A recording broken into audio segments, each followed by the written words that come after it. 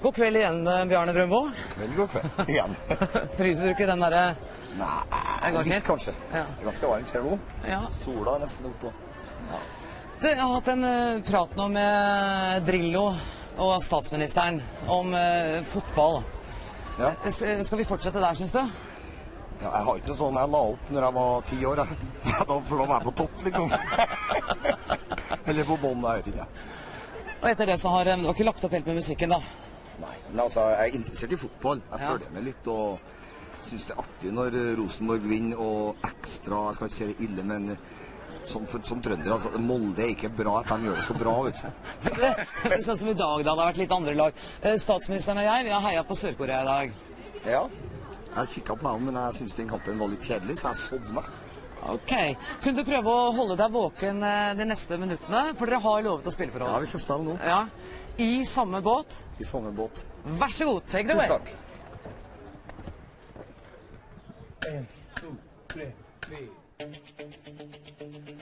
Noen er født med sølvskje i kjeften.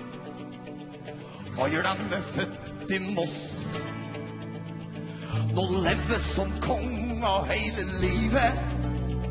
De fleste av dem er akkurat sånn som oss.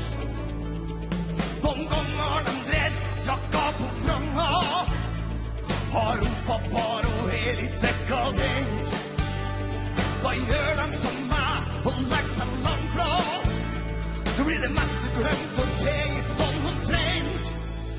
Vi er alle i samme båt. Vi har vært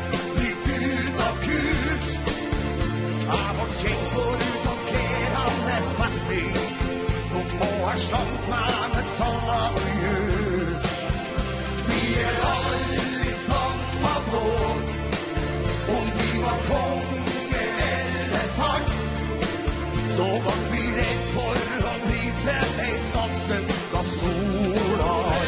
Og se da!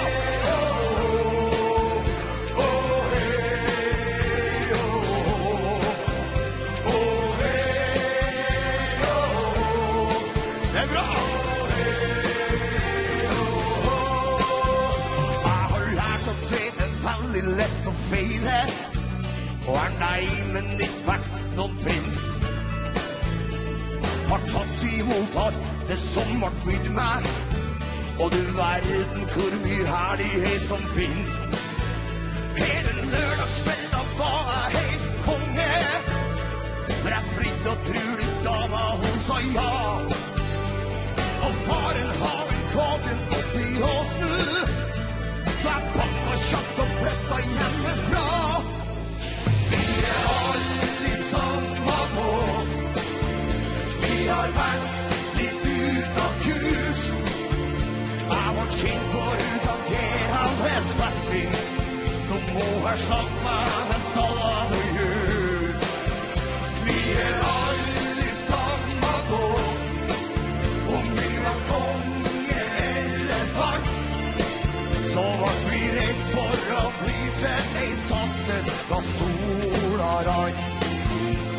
Jeg føler meg som Jeppe hver morgen. Litt forvirra, men jeg har det bra.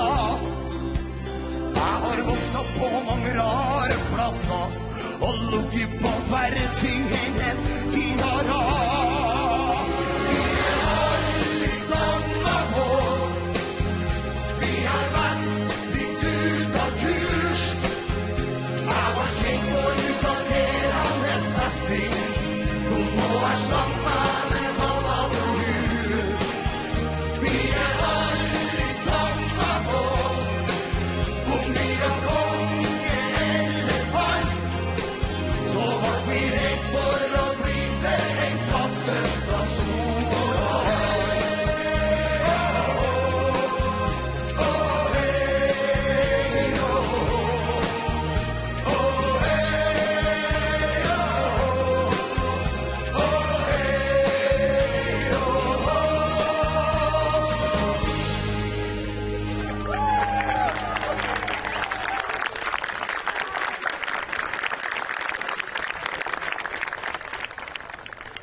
Det er ikke bare salgstallene som viser at DDE er et populært band.